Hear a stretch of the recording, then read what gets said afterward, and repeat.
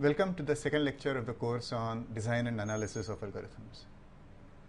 In today's lecture, we are going to develop a framework for algorithm analysis. In this course, we will be designing many algorithms for solving many different kinds of problems. We will want to compare these algorithms and even just plain evaluate them. And for this, we'll need some sound mathematical basis. And that's what we are going to do. We are going to design a formal framework using which we can evaluate algorithms and we will and also compare them. This is going to be the topic of this lecture and also the next few lectures. The framework that we design could be used not only for comparing uh, the execution time of algorithms, which is what we primarily mean when we say algorithm analysis, but it also be it could also be used for comparing other resources that an that an algorithm might use. For example, an algorithm might use varying amounts of memory. So we could use essentially the same framework that we are going to discuss very very soon, and use that framework to formally compare the memory requirements of different programs or different algorithms the basic idea in designing uh, in, in, the framework that we are going to discuss today is actually very related to the kind of analysis that we did in the first lecture, except we are going to make it a little bit more formal. Essentially, we are going to make a mathematical model of a computer, and then we are going to take our algorithm and mentally execute that algorithm on that model. And then through this execution uh, and by, by mentally executing, we'll be able to tell how much time the algorithm takes. And that is essentially going to be involved uh, uh, in doing the analysis. That is, that is what the analysis is going to have. So let me write that down, the basic idea. Okay, so we'll make a mathematical model of a computer.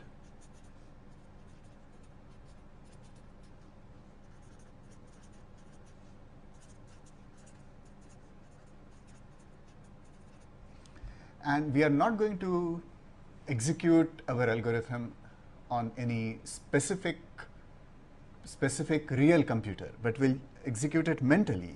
We'll imagine its execution on this mathematical model.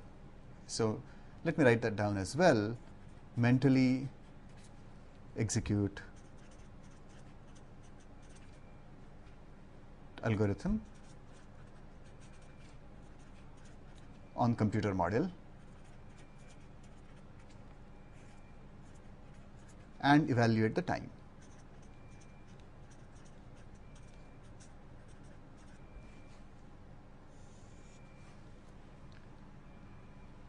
This is, this is the basic scheme, this is the basic idea that we are going to develop. In order to develop it, we need to answer several questions. So, the first question naturally is what is this mathematical model going to be? Which essentially, are, which essentially is the same thing as saying how long should we assign, what time should we assign for each of the operations that is that that is comprised that uh, that is used in our algorithm. Okay. So we need to answer questions like what is the time required on the model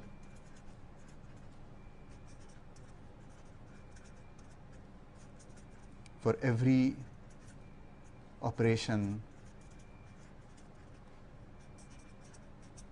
that an, that an algorithm might perform.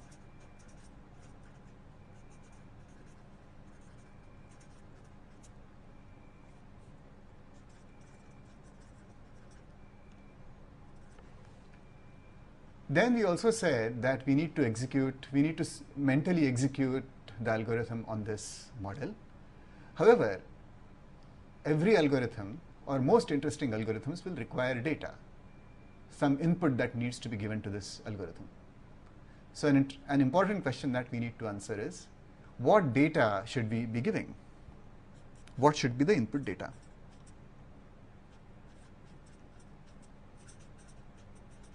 This is an extremely important question because the time of execution in general will depend upon the input. So when we say we want to estimate the time taken by an algorithm, we have to be very clear in saying what input is being given to that algorithm.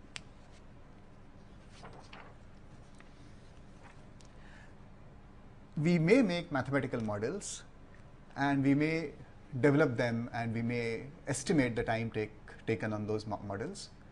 Of course, there is the important question which we need to answer, which is how does all this relate to real computers?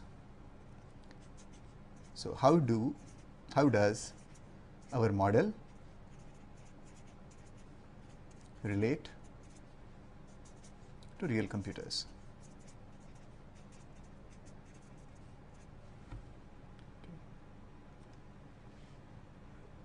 If, if our model is terribly different, okay, then our conclusions for the model might not be too useful for real computers.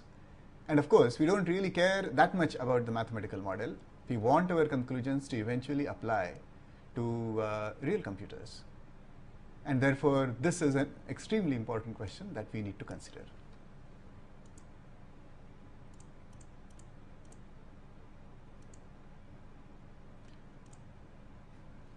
Over the next few lectures, we are going to answer these questions and also many of the other related relevant questions.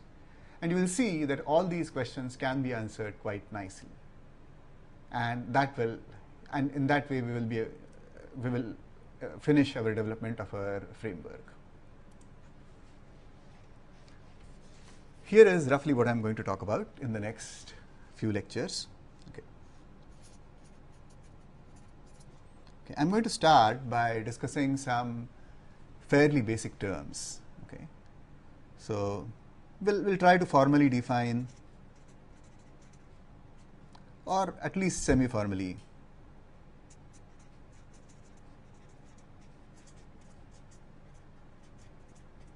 some basic terms.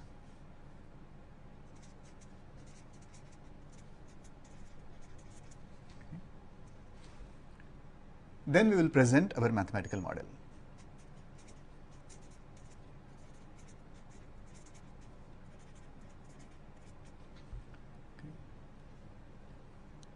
After that, I will discuss the general overall analysis strategy which we are going to use.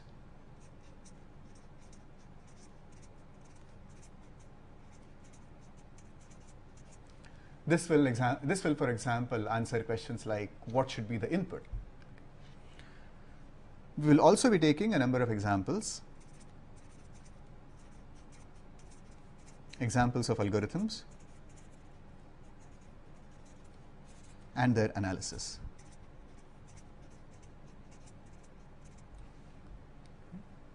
And finally, we will conclude with a discussion of the limitations of the model.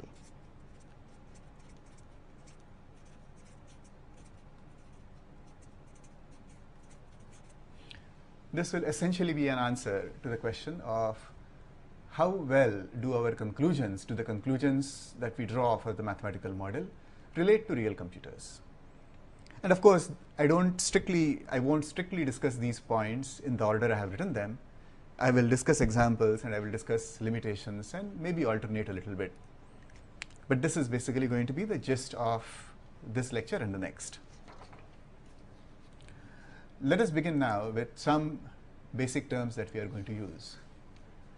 In day-to-day -day life, we often use the same term to mean different things. In scientific discussion, it's important to fix the meanings for every term so that we don't confuse ourselves later on and we don't end up with fallacies of any kind.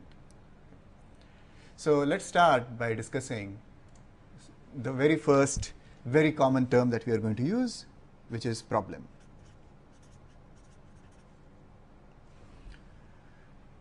Before I give a definition of a problem, I would like to give some examples. And from those examples, I'll try to motivate this, uh, this definition. Okay. When, I say when I say problem in this course, I will mean what we usually mean is in the sense of the problem of computing the GCD of two numbers.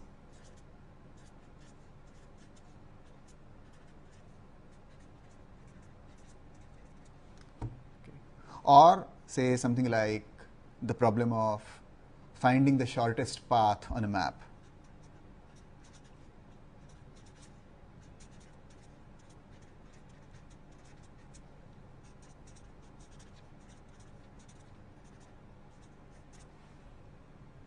Or maybe, say, finding the meaning of a word in a dictionary.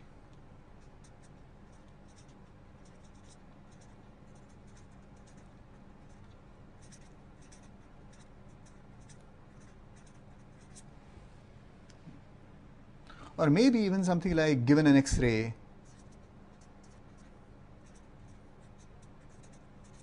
determine if there is any disease.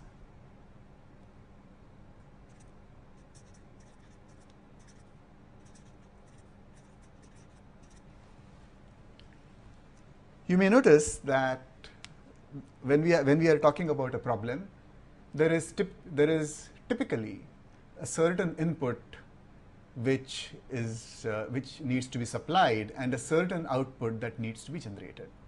Let's take an example of this. Okay.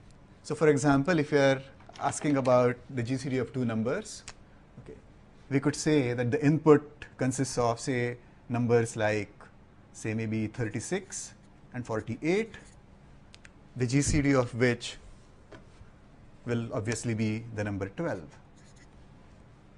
Okay. Say for the problem of finding the shortest path on a map, maybe the input could look like, say, name of a city, maybe Mumbai, and say a city, say Aurangabad, and we would have to supply which map we are going to use. So maybe we use the Western India Automobile Association map, and that will also have to be supplied. That will also that, that map will also have to be supplied as a part of the problem definition. For finding a word in a dictionary, maybe we supply the we have to supply the word. Say for example, we take the word evolution.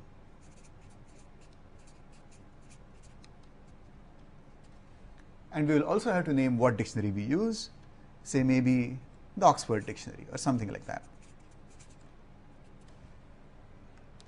For the last problem, we'll have to supply we'll have to supply an actual X-ray, say some actual picture.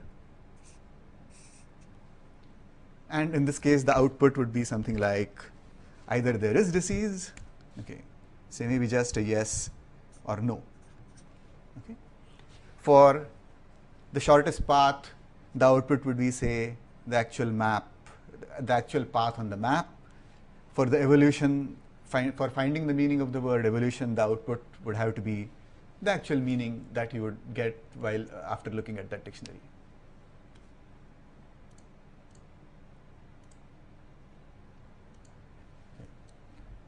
At this point, we have, I think, we have a good sense of what a problem is, and we can write down a a reasonably simple definition. So let's do that. So when we say problem in this course, will mean a specification.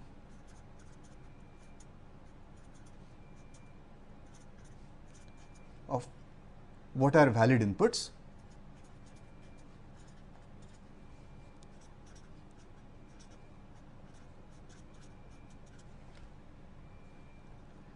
And what constitute acceptable outputs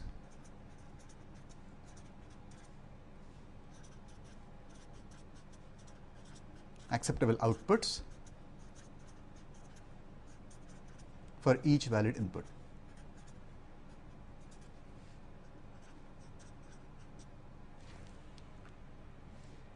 So, we looked at this earlier so, for example, for the GCD problem, 36 and 48 constitute valid inputs, and for these, the acceptable input is 12. Finding the shortest path, names of two cities in the map constitute a valid input, and the acceptable output would be the description of the path, and so on.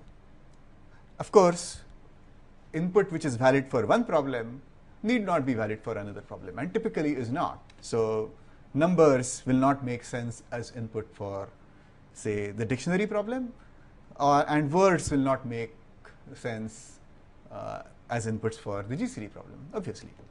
We often use the phrase input instance.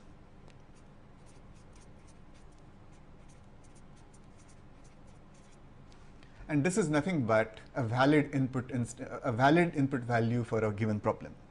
So, I will say that a value x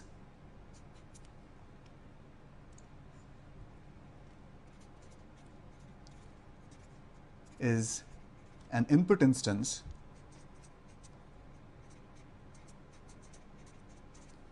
for problem P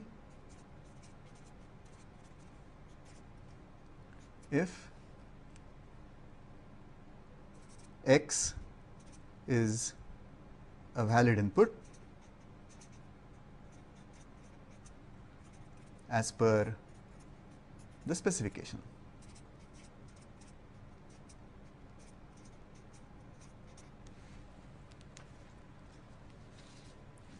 So, 36 and 48 are uh, 36 and 48 together constitute an instance for the GCD problem. Okay. Mumbai, Aurangabad and map constitute an instance for the GCD uh, for the shortest path problem and so on. Another important term that we need is that of a size of an instance.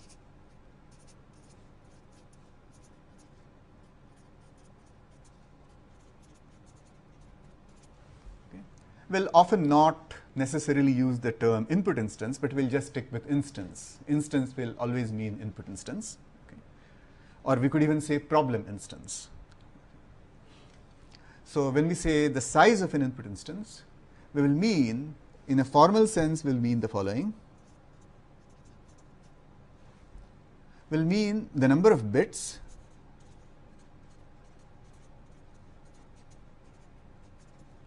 needed to represent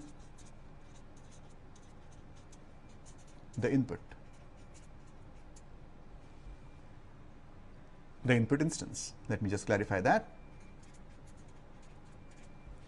So, a specific input instance will have a certain specific size. So, again let us go back to our examples. So, for example, if we look at 3648 which constitutes the input instance for the GCD problem, then we will have to ask the question how many bits are needed to represent 36 and 48. So, here there is a question of how we represent numbers in the first place. So, suppose we say numbers are going to be represented in binary, then 36 will require 6 bits and so will 48. So, in this case the input instance will have length 6 plus 6 or 12. As far as the shortest path on the map is concerned, somehow or the other we will have to represent the map. There are various ways of this representation and we will see some of them later on in the course.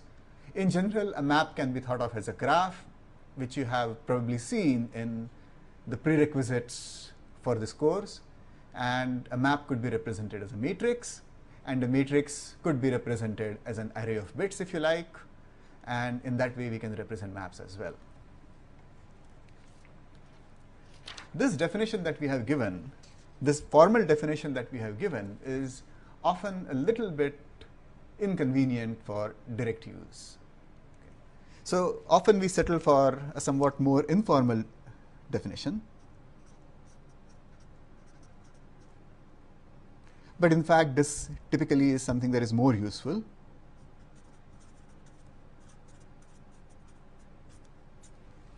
And informally we might say the size of an instance and we might mean any parameter which roughly grows with the, the official definition of the size of the instance. Okay. So, let me write that down. Any parameter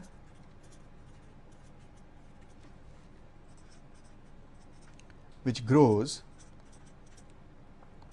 roughly, the growth may not be exactly predictable,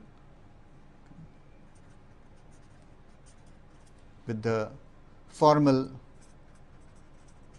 notion of size.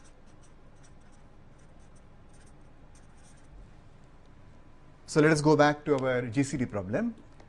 There we said that the size, there we said that uh, the size was the size for 3648 was 12 bits but instead of making this be the definition of size, we could say that the size is simply the sum of the numbers. Okay, so 36 plus 48, which is 84. So we could think of 84 itself as, as our notion of size of the input instance rather than 12 bits. In fact, if you go back to the first lecture, you will see that this was the parameter that we used when we analyzed the GCD algorithm in the first lecture. So we said that the size, uh, the, the, the sum of the numbers u and v will keep on decreasing. Okay. And in fact, this is, this is really the reason why we are interested in the notion of size. Usually, we will expect that the time taken by an algorithm will increase with the size of the instance.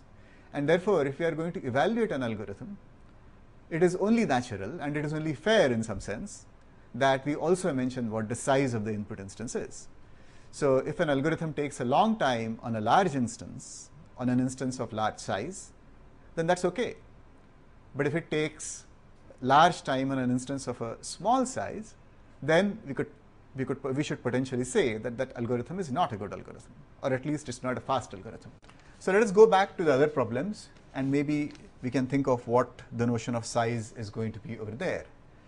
So going back to our shortest path problem, a notion of size could be the size of the map. So the number of roads in the map, or the number of roads and the number of cities together. So clearly finding the shortest path in a map which only involves one road is going to be really easy, and therefore we should expect, we should not, uh, we should, an algorithm which takes us uh, takes a short time on such a, sm a small instance should not really be thought of as a great algorithm. On the other hand, if an algorithm takes a small amount of time on a map which consists of 1000 cities and 2000 roads, then that algorithm we should certainly say is a good algorithm. So essentially that's the idea. We want to, when we evaluate algorithms, we want to evaluate that in comparison, evaluate the time taken in comparison to the size of the input instance. For the dictionary problem, the size of the dictionary, the number of words in the dictionary that is, would be a good indication of the size. And for the X-ray problem, we will somehow have to take that X-ray and convert it into bits of some kind. So we could say, for example, that the size of the X-ray, say the number of the, the if the X-ray is has resolution thousand by thousand, then we could say that the size is a million or something like that we often use the phrase uh, prob uh, problem size also to denote the size of the instance. So if you say, if you hear the phrase problem size, it's really talking about the instance of the problem rather than the problem directly. But that's a term which is very commonly used in the literature.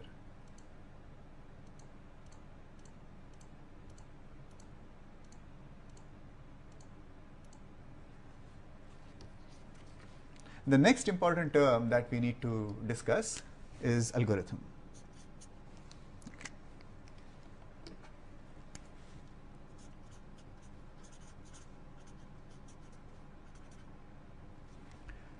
When I say algorithm, I mean an abstract computational procedure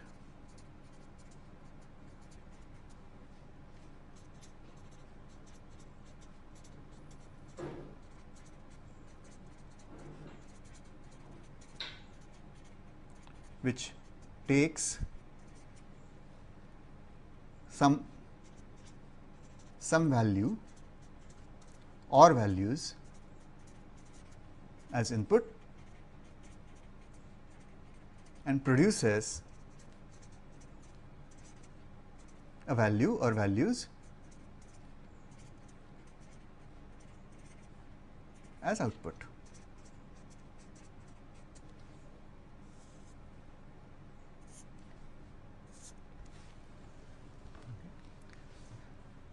I use the term abstract in order to denote that an algorithm can be expressed in many ways. Okay. So, a program is an expression of an algorithm. So, the same, the same algorithm might give rise to different programs, say in different languages. Programs as being concrete and algorithms as being abstract. Of course, even for even for discussing algorithms, we'll need to have a notion of a language. So, uh, however, this notion is not going to be as rigid or as strict as the notion that we have when we discuss programs.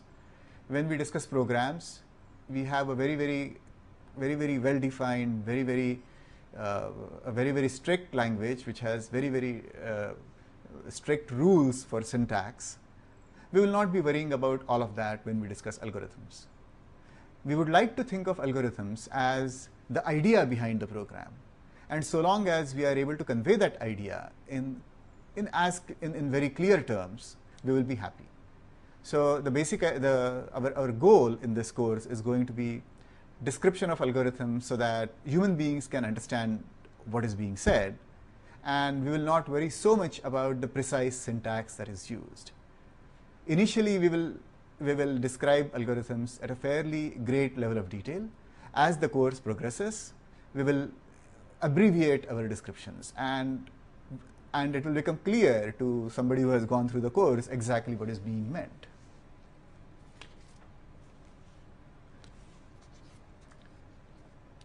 The reason for describing algorithms is of course one, one reason is to convey what, what is the idea and the other reason why we will be discussing algorithms in this course is of course to evaluate their time. So I tell you what an algorithm is, it should be clear to you what exactly is uh, what, exact, what exactly are the operations that I have in mind and you should be able to write the program. But not only that, it should also be clear to you how that program will execute on a machine and especially on the model machine that we are going to talk about. And that is going to be another important purpose, another important point that we want to keep in mind when we discuss algorithms. So we have to describe algorithms at such a level of detail that it is fairly easy to analyze how long they will take on our mathematical model. All these issues will become clear when we describe our mathematical model, which we'll do right now. The mathematical model of a computer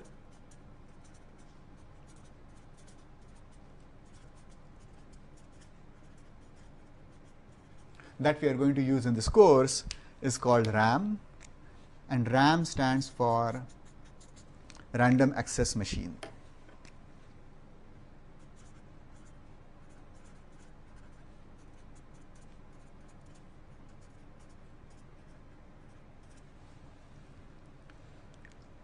This is a very simplified computer model and it only consists of basically it consists of two parts. So there is a processor which will be executing programs and then there is going to be a memory. The memory is going to be a collection of locations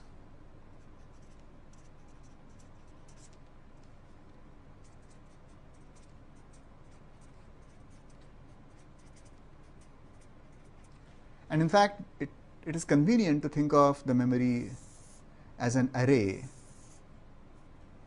with numbers on it. So the locations start with a certain say 0 and there might be say m minus 1 the last number could be m minus 1 if there are m locations overall.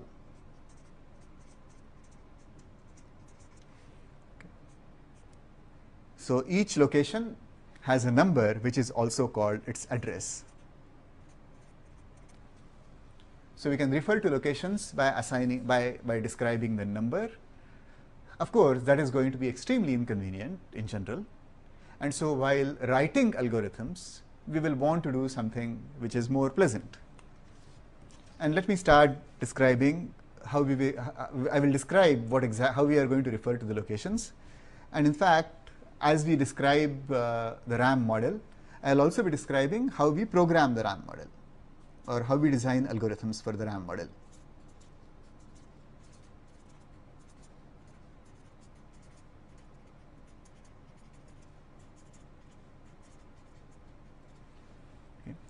So, the first thing to notice that although the RAM model contains locations which are addressed by numbers, we will in fact allow variable names.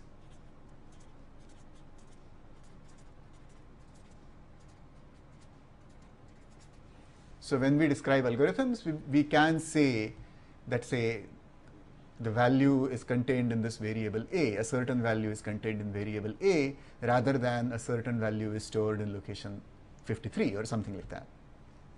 Okay. In fact, we'll allow a variety of data types. Say we'll allow plain simple, uh, plain simple variables, but we'll also allow say arrays and we'll also allow structures I would like to think of these two as sort of the primitive data types.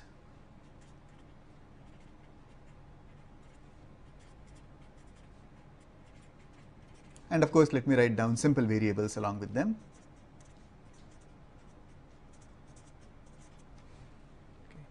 In addition, of course, we'll allow other things like trees, lists, and so on as well you will be able to build your own data structures as well, but somehow or the other they will have to be built out of these data structures. Okay. So this is as far as the memory is concerned. There will be a memory which will store the program as well, but we will think of it as being quite separate. So the program and data do not mix. So here is again our picture of the RAM model. Okay, so there is a memory and then there is a processor. Now I have to tell you what the processor can do in each step. So basically this is going to be a description of the instruction set of the processor.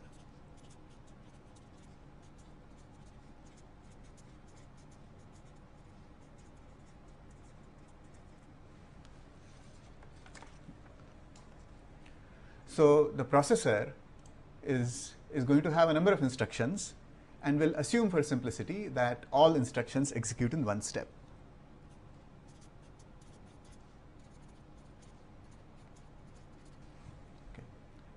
there are basically three, four groups of instructions that we'll have. Okay. So one group is arithmetic and logical operations.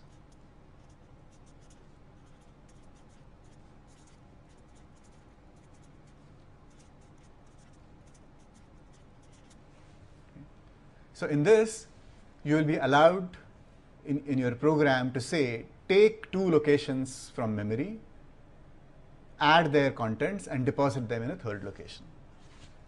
Let me write down how you will actually express this when you write programs. And don't worry, it's going to be quite uh, quite friendly in a, in a quite friendly. This is going. This can be represented in a very friendly, pleasant manner. So, for example, you could say a equals b plus c as a part of your algorithm. And this is going to be one instruction. As we said, an instruction is going to be take two operands b and c, which are stored in two locations, add them up and put them back. So this will happen in one step.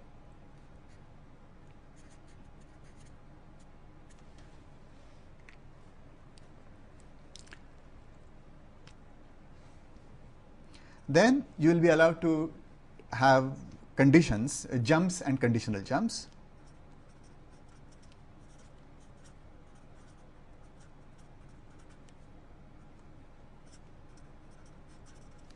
Okay. And these will also execute in one step. So correspondingly, as a part of, of your program, you will be allowed to write something like go to. Okay. This will happen in one step. Or you will be allowed to write, say, something like if a greater than b, then go to.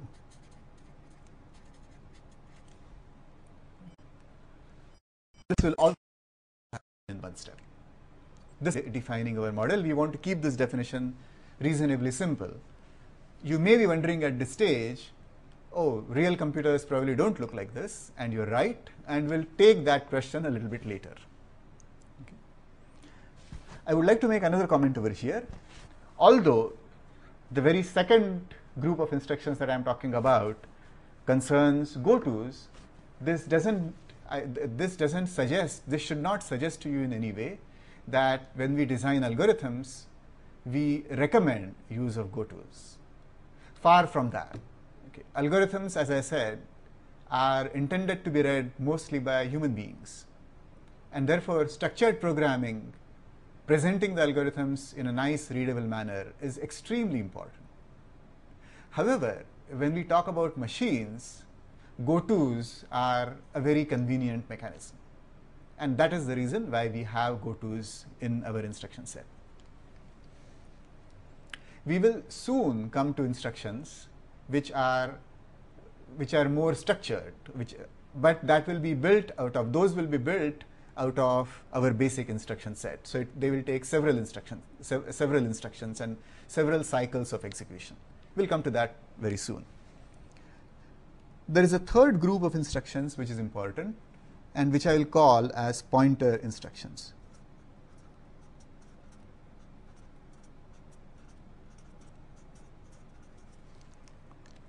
So these are simply operations of the form say b equals star c, where I am using C style pointer notation.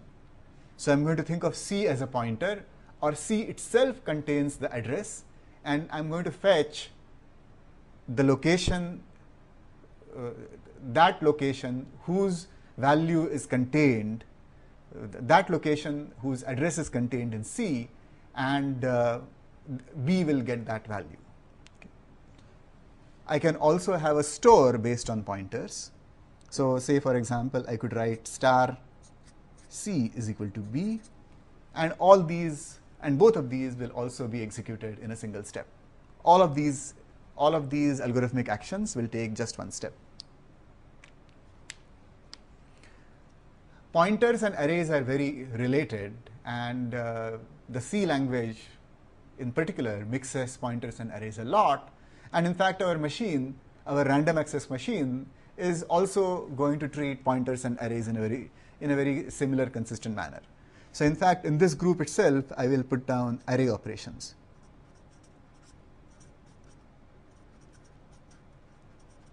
And here I mean one-dimensional array.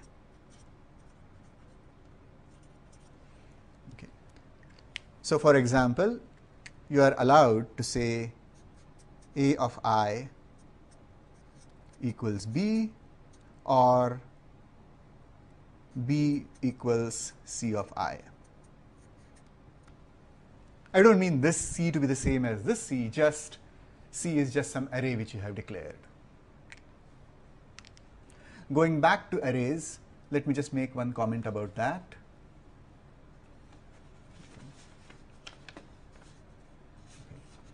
So we said that arrays that uh, our machine will contain arrays and structures, okay, we will assume the usual C-like representation of arrays.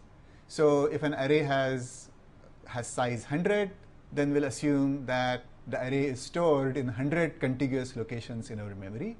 Similarly, if, a, if an array, uh, if, if, um, if we have a structure which consists of three components, then the structure will be stored in three contiguous locations in the memory. So coming back, we have uh, a processor and a memory, a processor whose basic instruction set I have just described, a memory which consists of a location. I haven't told you what a location is really. A location simply is a collection of bits. It has to be a fixed number of bits, say doesn't really matter what number it is, it could, but it has to be fixed once and for all. Say it could be a number like 64, which is the number which is used in most modern computers. So there is a notion of a word, and the notion of a word really goes along with this notion of a location. Okay, so we looked at the basic instruction set and the basic algorithmic actions that are possible. What I'm going to do next is think about more complex, more complex algorithmic actions or more complex algorithmic statements.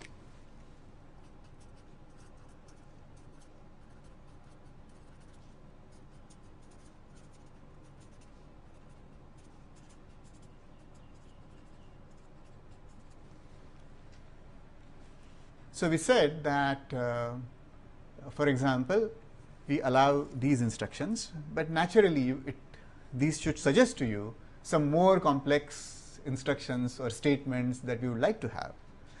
For example, we would like to write down a statement, statement which looks like this. So, say A equals B plus C times D minus F. How long does this take? Well, our rule is very simple. We will have to break this down into our elementary instructions. So, here we have three operations and therefore, this will take three elementary steps, three elementary instructions and therefore, this will take three steps. Okay, so, we will allow use of such statements in our algorithm, but when we count the time, we will have to count 3.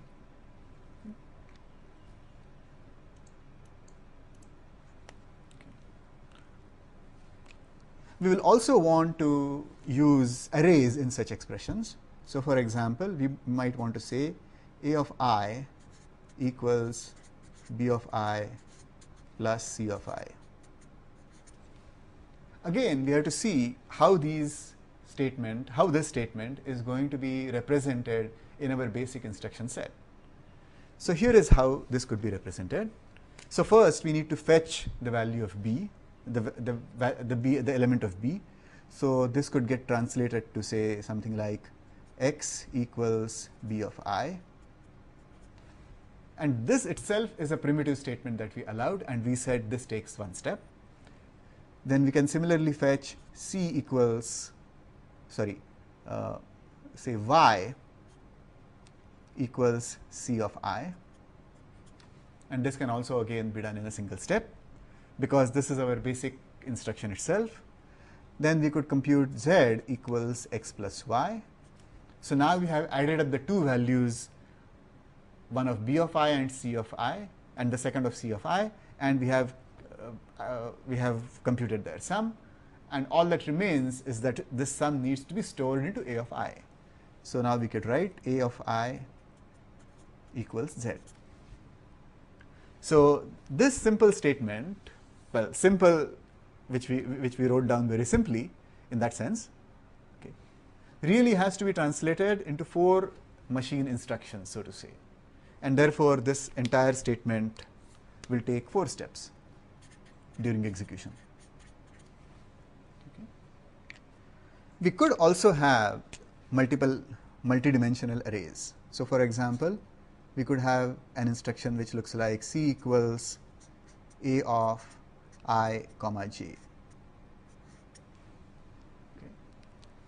So, here we will have to decide we'll have to decide how two-dimensional arrays are stored. But we'll assume that two-dimensional arrays are built on top of one-dimensional arrays. Okay. So, for example, if we have a two-dimensional array, array which looks like this, so say this is an array A which has two rows and four columns.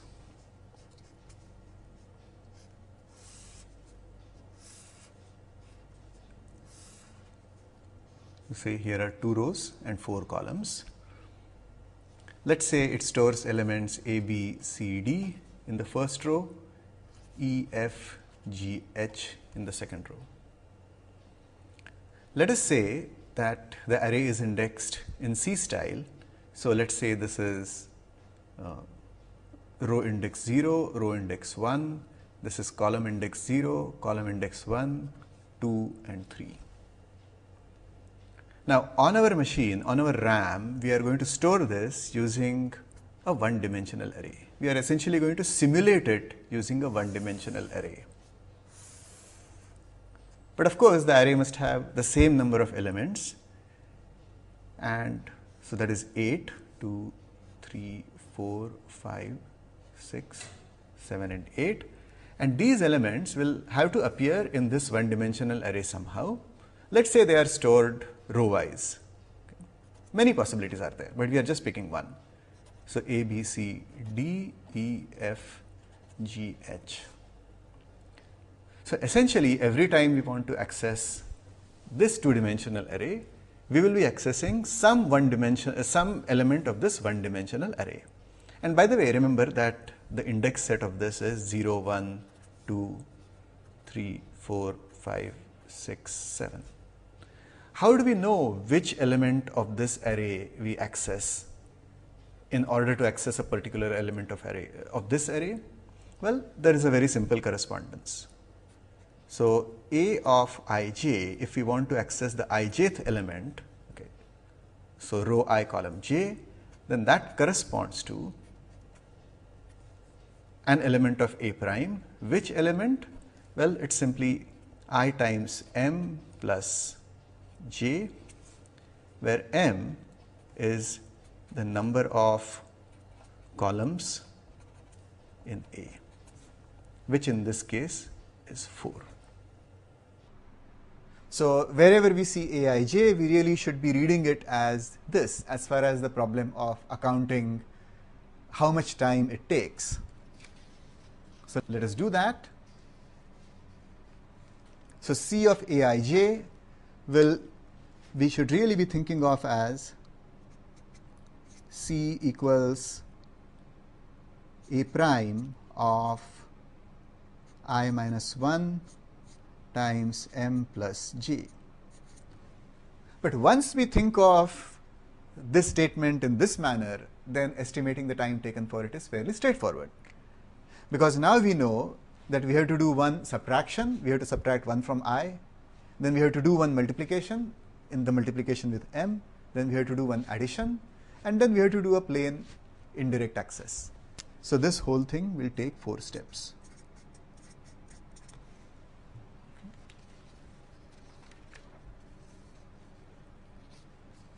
Let us now turn to some structured computing statements. Let us take a loop. So, let us say we have a for loop.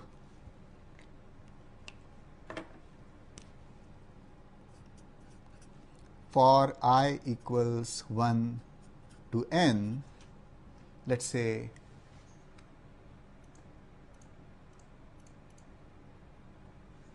we do something like C of i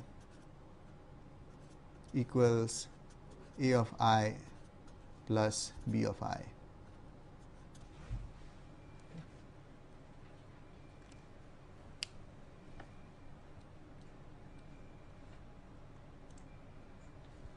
So, as I said, we have to translate these instructions into uh, our basic instructions and here is a possible translation.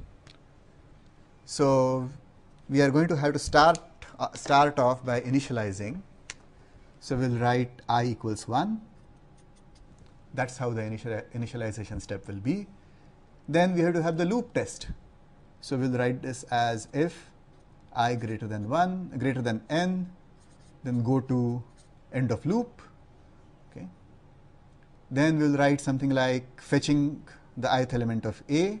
So, we will write something like x equals a of i. Then we will write y equals b of i and then we will write say z equals x plus y in the manner that we just discussed and now we have to store it back. So, we will write c of i equals z. At this point we have to step through the loop. So, we will write i equals i plus 1 and now we will just go back. So, we will go to okay. So, let me number these statements 1, 2, 3, 4, 5, 6, 7, 8 and so we are to going we are going to go back to 2 and this should jump out of the loop so this has to go to 9 okay so this is going to be a translation of this so although in our algorithms we will write this for statement and just for completeness maybe we'll have an end for as well but as far as as far as the purpose of accounting is concerned this is the time, uh, this is the code that we should be considering.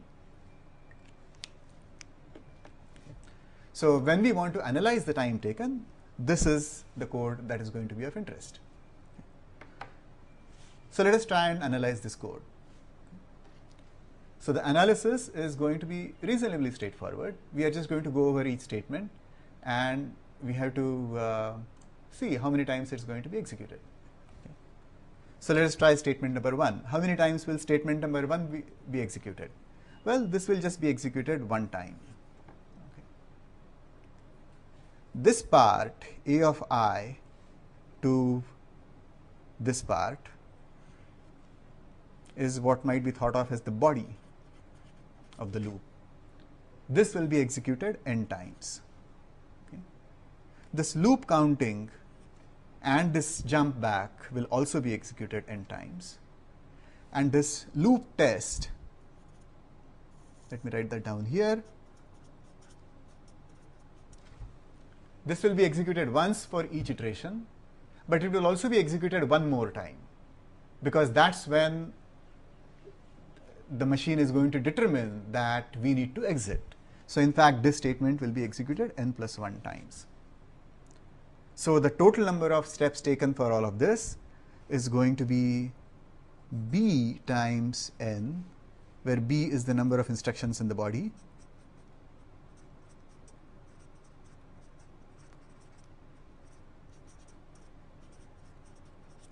okay, plus these two steps plus these two n steps plus 2n plus these n plus 1 plus this extra one. So, this is going to be nothing but 2 plus n times b plus 3. So, this is our final answer. Let me write that down in big letters over here 2 plus n times b plus 3. This is going to be the number of steps needed to execute this loop. Of course, for this loop, b has the value 4 and therefore that is going to be the time. We will also allow function calls in our programs.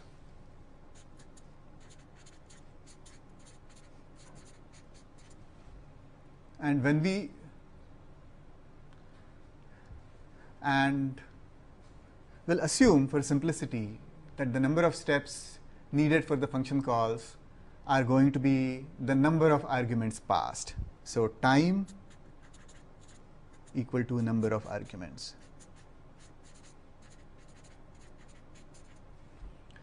Of course, I should say something about the syntax of the function calls and the syntax is going to be pretty much like the C language.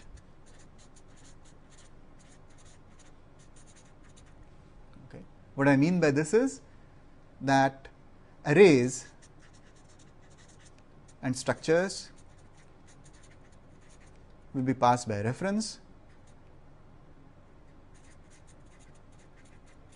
which means that you can you can modify them in the called procedure and the modifications will be seen by the calling procedure whereas variables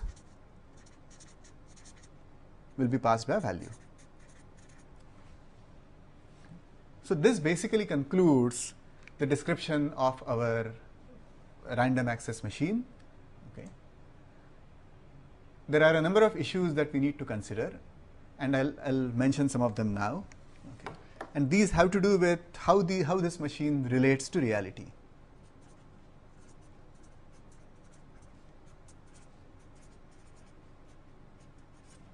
Okay. Are real computers like this or are they different? Then we have to ask questions about, we, we will want to take algorithms and see their complete analysis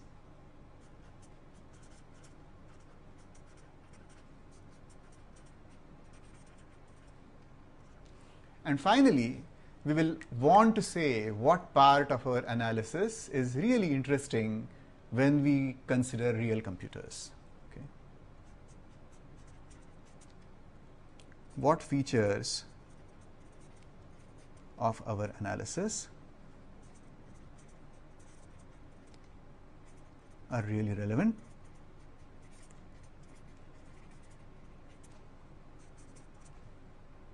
for real computers.